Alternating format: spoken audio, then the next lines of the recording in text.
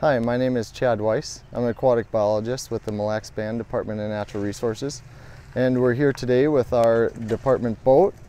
And uh, we're going to show you what this new piece of equipment at uh, the Shaw-Bosh-Kung Access can do. It's a waterless cleaning station. So we have a few different uh, set of tools here from a vacuum to a grabber, a plug wrench to take the plug out of your boat, a brush to scrub any uh, dirt or debris off the side of your boat, and then an air hose to get any water out of those hard to reach places. So first we'll start with uh, the vacuum and we're going to use this to suck water out of our live well. Turn the vacuum on right here. There it's suctioning. All the water that's left in there from the lake. The vacuum, there is a um, drum inside of here that the water gets stored in.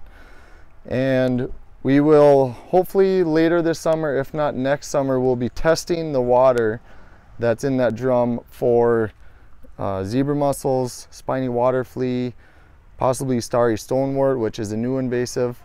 Um, so we'll be able to take that water, figure out um, the number of you know AIS that this system is taking out of the lake based on the concentration and hopefully certain times of the year that it's more imperative to clean your boat.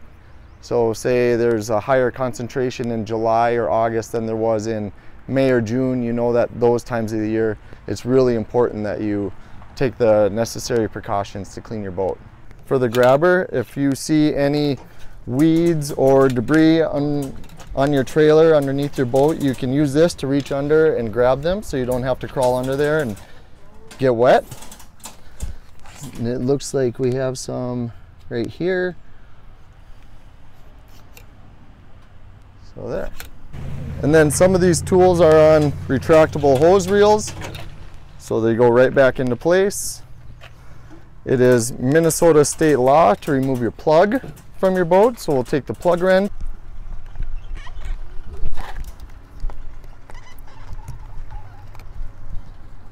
Loosen up the plug and take that out. Scrub brush. If you have any weeds on the side of your boat or debris that you want to get scrubbed off. The brush would be a good option for that or the trailer. Also for the blower, push the button.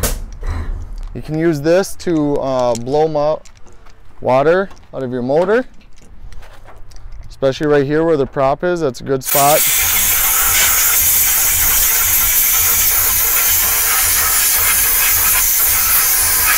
So this is uh, powered with batteries, which are charged with a solar panel that sits up on top of the unit. Um, so that solar panel will charge the batteries and keep the batteries charged throughout the day. It's also connected to uh, wirelessly to Wi-Fi. So the number that each tool is used how full the drum is in here. Everything will get sent to uh, the cloud, I guess. And then I can go on my computer, I can look at all of that information. If a tool is not being used or the drum is getting full, I will get an email notification sent to me saying this tool hasn't been used in a certain amount of time. Something may be wrong. You should probably go down and take a look at it. And then we'll come down and you know, see if any tools are missing or the drum is full or something's not working correctly, then we can fix it. The purpose of this unit is to um, help prevent invasive species from entering Mille Lacs.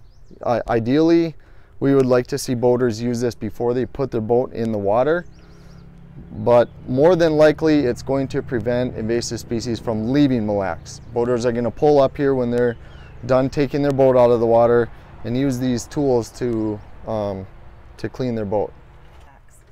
There are zebra mussels, spiny water flea, and um, Eurasian milfoil. Star, I mentioned starry stonewort before. That is a new one, kind of moving across the state, that um, that's our next one that we're that we're worried about, and that is that's a uh, aquatic plant just like uh, Eurasian milfoil. Is that in Mille Lacs right now? No, it is not currently in Mille Lacs that we know of. Awesome. So this unit came from Mille Lacs County. They used AIS grant funds to buy the unit. Uh, Mille Lacs Band DNR uh, agreed to operate and maintain the unit. Um, and then the Minnesota Parks and Trails also allowed us to place a unit here at the access since this is a state-owned access. Now, this unit is stationary, sits on a cement pad, but the Mille Lacs Band DNR just received a grant, AIS grant through the BIA to purchase two portable units. So hopefully you guys will be seeing a lot more of these around the lake. Our hope is to have them up and going by next spring so that uh, during spring harvest we can bring them to landings and band members can use them uh, on their equipment and their boats and we'll have them around the lake throughout the summer. So anybody that is enjoying fishing throughout the summer can use them. And um, hopefully this was a quick little introduction so you guys, when you guys see one of these, you know what they are and how to use one. Good luck fishing.